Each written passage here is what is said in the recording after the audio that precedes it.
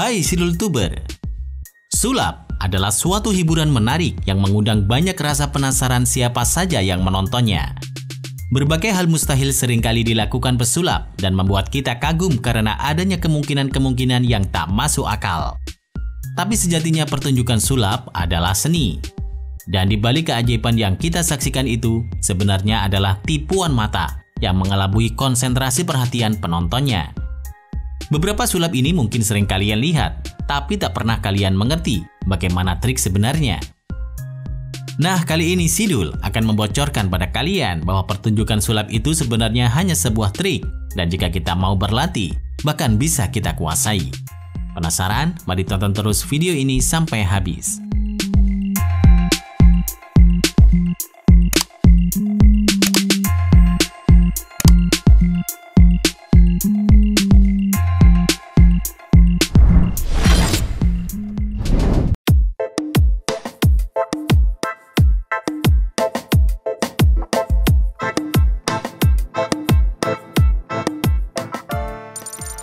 Makan balon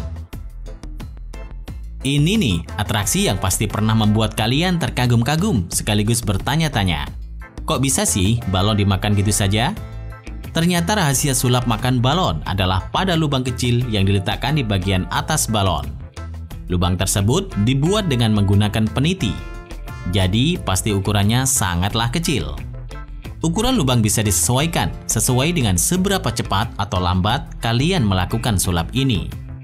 Saat menelan balon, posisikan bagian ujung yang tidak ada lubangnya tepat di atas lidah. Sembari memakannya, yang harus dilakukan pesulap adalah menekan permukaan balon agar udaranya keluar melalui ujung yang telah dilubangi dengan peniti.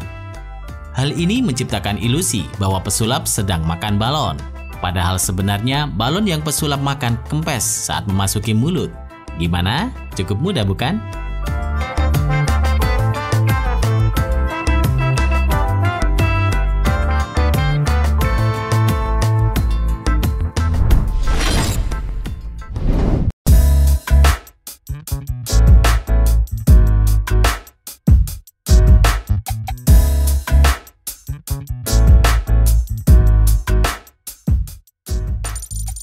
Rantai tembus leher Melihat nama sulapnya saja sudah membuat merinding. Bagaimana bisa ada sebuah rantai yang bisa menembus leher? Sulap ini dipopulerkan oleh seorang pria bernama Dinamo. Awalnya Dinamo memakan sebuah permen. Kemudian dia melepaskan kalung rantai yang ia pakai dan melilitkannya ke leher. Tak disangka, rantai yang ia lilitkan tadi menembus bagian lehernya. Dinamo kemudian menarik rantai yang menembus setengah lehernya itu saat semua rantai telah terlepas, dengan ajaibnya permen yang ia makan tadi ikut keluar, tergantung di rantai seperti liontin sebuah kalung. Bagi kita yang awam dengan trik sulap, sulap ini begitu mengesankan. Tapi siapa sangka, jika rahasia sulap ini cukup mudah, yaitu hanya dengan lem yang dioleskan pada bagian leher. Lalu bagaimana dengan permen yang tiba-tiba muncul di tengah rantai? Ya, permen yang digunakan ada dua, dan disembunyikan pada genggaman salah satu tangan dinamo.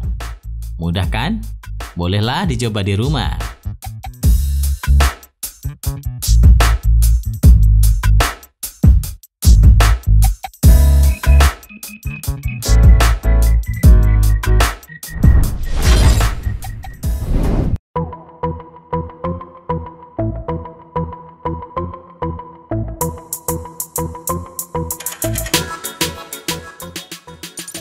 Garam menghilang.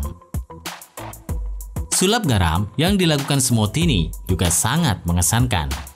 Pertama-tama, Smotini meletakkan garam pada tangan kiri. Tapi pada saat telapak tangan kiri dibuka, garam tersebut hilang.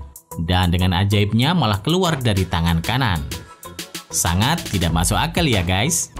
Tapi siapa sangka jika trik sulap tersebut sangat sederhana. Rahasianya ada pada jempol palsu yang dipakai Smotini. Di awal pertunjukan, jempol palsu ia pasang di tangan kirinya. Oleh karena itu, Smotini mengalihkan perhatian penonton dengan garam yang ia pegang di tangan kanan. Pada saat itu, Smotini memindahkan jempol yang ia pakai ke dalam genggaman. Garam pun ia tuangkan ke tangan kiri. dan otomatis garam itu akan masuk ke dalam jempol palsu. Setelah itu, jempol palsu yang ada dalam genggaman dipindahkan ke jempol tangan kanan. Jadi, saat telapak tangan kiri dibuka, tangan kiri dalam keadaan kosong. Hal itu memberikan ilusi bahwa garam telah menghilang. Yang harus dilakukan selanjutnya adalah memindahkan jempol palsu dalam genggaman tangan kanan. Saat jempol palsu sudah ada dalam genggaman tangan kanan, garam pun bisa dituangkan. Simpel bukan?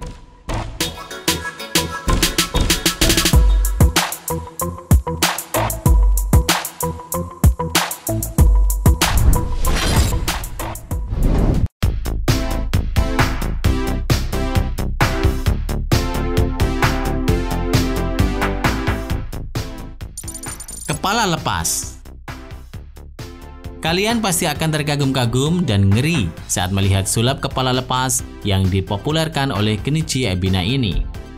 Bagaimana tidak? Di tengah-tengah penampilannya, kepala Ebina seolah-olah lepas dan dalam beberapa detik dikembalikan lagi ke tempat asalnya. Cukup mengerikan dan menarik bukan? Akan sangat keren jika kalian yang melakukan sulap tersebut. Rahasia dari sulap itu ada pada jaket hitam tebal yang Ebina kenakan. Sebenarnya ada segitiga tersembunyi di jaket yang dipakainya. Segitiga tersebut juga cukup mudah untuk kalian buat di rumah. Cukup dengan satu buah hanger, lakban, dan dua buah kayu. Langkah pertama, buang bagian gantungan hanger. Rekatkan kayu pada tiap tepi hanger sampai membentuk segitiga. Saat proses kepala jatuh dilakukan, itu sebenarnya kepala hanya sedikit menunduk. Dan pada saat yang bersamaan, satu tangan Ebina akan menyangga kayu tersebut, sehingga jaket tetap pada posisi awal. Cukup mudah bukan?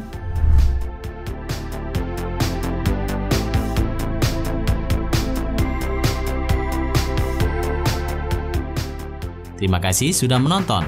Jangan lupa share dan sampai jumpa di video berikutnya.